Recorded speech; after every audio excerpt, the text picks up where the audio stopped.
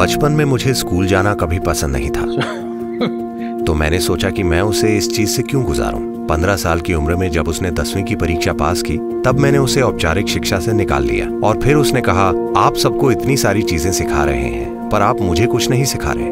मैंने कहा तुम्हें बस ये जानने की ज़रूरत है। मेरे पास बहुत काम था तो मैंने कभी ये सोचा ही नहीं। हमारा अपना बच्चा होना चाहिए। पर मेरी पत्नी ने कहा, कम से कम एक। मैंने कहा, ठीक है, एक, सिर्फ़ एक। तो ऐसा हुआ और जब वो छोटी थी, तीन, साढ़े तीन महीने की, तब से मैं पूरे दक्षिण भारत में ड्राइव करता था। वो मेरी कार की आगे की सीट पर बंधी रहती थी। मैं अकेला कार चलाता था। मेरा एक हाथ यहाँ, एक हाथ स्टेयरिंग व्हील पर। ये वो समय था जब हम ईशा फाउंडेशन बना रहे थे तो मैं बहुत ज़्यादा यात्रा करता था और वो मेरे साथ रहती थी जब वो साढ़े तीन महीने की शिशु थी। तो पहले चार साल वो मेरे साथ कार में बड़ी हुई और कई लोगों के घरों में भी। इसलिए वो हज़ारों लोगों से मिली और उसने सीखा कि किसी भी घर का हिस्सा कैसे बना जाता है। कहीं भी चाहे वो दुनिया का सबसे समृद्ध घर हो या एक आदिवासी का घर हो मैं जहाँ कहीं भी रहा मैंने पक्का किया कि उसका हर चीज़ से सामना हो। मैं नहीं चाहता था कि उसमें पूर्व धारणा की भावना विकसित हो। पसंद नापसंद कि कहाँ रहना है और कहाँ नहीं रहना है। और जब तक वो तीन साल की हुई वो कम से कम हज़ार लोगों को नाम से जानती थी जिन्हें वो अपना दोस्त मानती थी। वे निश्चित रूप से उसकी उम्र के नहीं थे। ऑल सभी बड़ी उम्र के थे तो ज़बरदस्त रूप से लोगों से सामना होता था। और मैंने सोचा कि मैं उसे स्कूल नहीं भेजूँगा क्योंकि मुझे स्कूल जाना कभी पसंद नहीं था जब मैं छोटा था। तो मैंने सोचा कि मैं उसे क्यों इस चीज़ से गुजारूं? फिर जो इकलौती चीज़ जो मैं उसे उपलब्ध नहीं करा पाया वो थे उसके हम उम्र के बच्चे। तो मैंने उसे ऐसे स्कूल में भेजा जहाँ ज़्यादा कंपटीशन और ज़्यादा दबाव नहीं था। इसलिए मैंने ऐसा स्कूल ढूंढा जिसे जे. कृष्णमूर्ति द्वारा शुरू किया गया था और मैंने उसे वहाँ भेजा ताकि चीज़ें आसान हो। और मैंने उनसे कहा, तुम मेरी लड़की पर सख्ती मत करना क्योंकि मैं उसके रिपोर्ट कार्ड की ओर नहीं देखने वाला। मैं नहीं पूछने वाला कि तुम्हारी रैंक क्या आई है। मैं नहीं पूछने वाला कि तुम क्या बनोगी।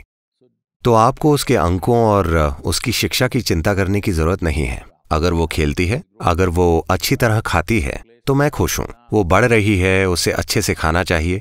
अगर वो अच्छे से खेलती है, अगर वो हंसती है, गाती है और नाचती है तो मैं खुश हूँ। मुझे चिंता नहीं है क्योंकि जब मैं स्कूल में था तो हर टेस्ट में मैं एक सा था। मुझे हमेशा छह ज़ीरो मिलते थे, क्योंकि मैंने किसी भी पन्ने पर एक भी शब्द नहीं लिखा। अगर वे ज़ोर देते तो मैं अपना नाम लिख देता, नहीं तो मैं नहीं लिखता था। और फिर अंतिम परीक्षा होती थी, तब मैं सिर्फ़ पैंतीस नंबरों के लिए मेहनत करता था और मुझे हमेशा पैंतीस, छत्तीस ही मिलते थे। मैं हिसाब लगाता था। मैं तीस मिनट से ज़्यादा कभी परीक्षा हॉल में नहीं बैठा। पहली घंटी और मैं हमेशा बाहर। मैं बस यही हिसाब लगाता था कि अपने दोस्तों के साथ अगली क्लास में जाने के लिए क्या करना होगा, और मैं बस वही करता था। मैं ये सब क्यों कह रहा हूँ? क्योंकि ये सब कुछ मैंने बचपन में देखा था। जब हर महीने रिपोर्ट कार्ड आता था तो क्लास में कुछ बच्चे रोते थे, क्योंकि उनके उतने नंबर नहीं आते थे, जितने उनके शेर माता पिता चाहते थे। और कुछ गर्व से घूम रहे होते थे, क्योंकि वो पहले या दूसरे स्थान पर आए होते थे। जब भी टीचर मुझे कार्ड देते ये रिपोर्ट वाली चीज़ मैं बस उसे लेता और अपने पिता को दे देता। मैंने कभी खोलकर नहीं देखा। क्योंकि मुझे लगता था कि ये टीचर और मेरे पिता के बीच की बात है। मैं दखल देकर नहीं देखना चाहता था कि क्या चल रहा है। तो मैंने खास तौर पर स्कूल के प्रिंसिपल से दरखास्त की। मेरी बेटी की शिक्षा के बारे में चिंता मत कीजिए। मैं चाहता हूँ कि वो बस अपनी उम्र के बच्चों के साथ रहे। वो अच्छी तरह खाए बस इतना सुनिश्चित कीजिए कि वो अच्छी तरह खाए, यही मेरी चिंता है। वो अच्छे से खाती है, खेलती है, हंसती है, उछलती है और नाचती है तो मैं खुश हूँ। तो जब वो पंद्रह की हो गई और दसवीं की परीक्षा पास की, मैंने उसे औपचारिक शिक्षा से निकाल लिया। और, क्योंकि ये उसकी माँ का सपना था और मेरी बेटी की भी बहुत रुचि थी तो मैंने उसे नृत्य सीखने के लिए भेज दिया। वो भारतनाट्यम सीखने लगी और, अब वो देश के उभरते कलाकारों में से एक है। तो मैंने कभी उसे एक बच्ची नहीं माना, पहली बात।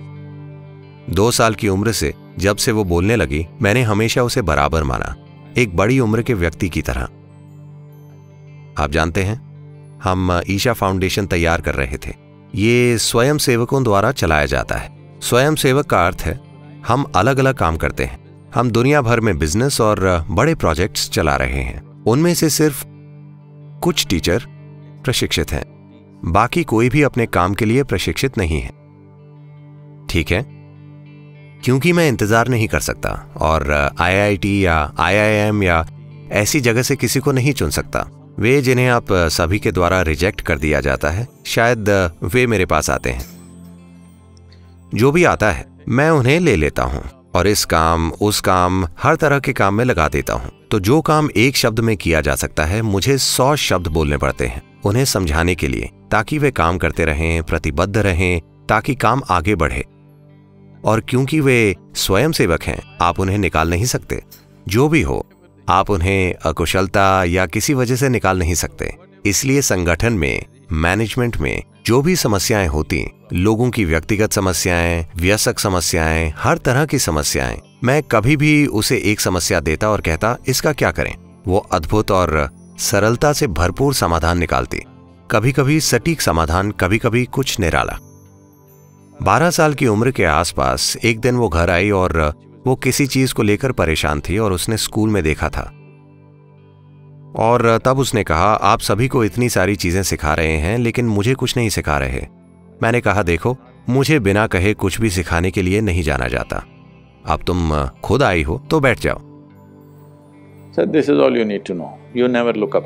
मैंने कहा, तुम्हें बस यही जानने की ज़रूरत है। किसी को ऊँचा मत मानना। भौहें तन गई। आपको भी नहीं। मैंने कहा, खास तौर से मुझे।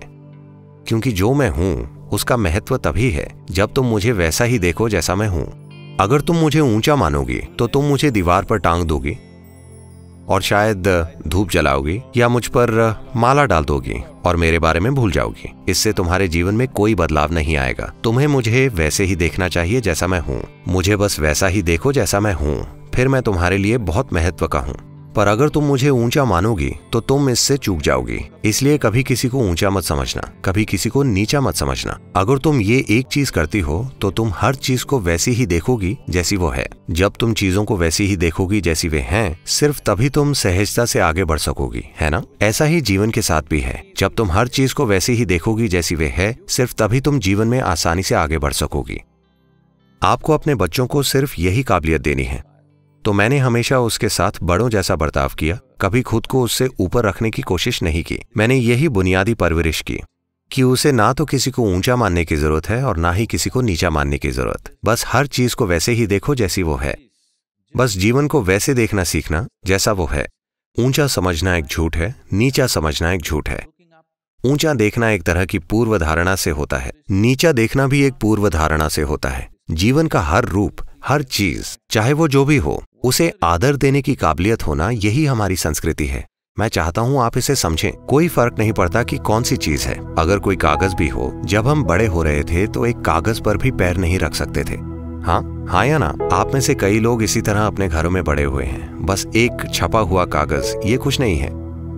हो सकता है समाचार रद्दी हो। पर आप उस पर कदम नहीं रख सकते क्योंकि आप खुद को उसके ज़रिए शिक्षित करते हैं। अगर आप धरती पर पैर रखना चाहते हैं तो आप उसके आगे झुकते हैं। आप किसी चीज़ को ऊँचा नहीं मानते या किसी चीज़ को नीचा नहीं मानते। जो आप अपने भगवान के साथ करते हैं, वही आप सबके साथ करते हैं। ये किसी सांस्कृतिक या धार्मिक तरीके से ना बताते हुए मैंने बस, इसे उसके जीवन में उभारा और, मुझे लगता है इसने शानदार तरीके से काम किया है।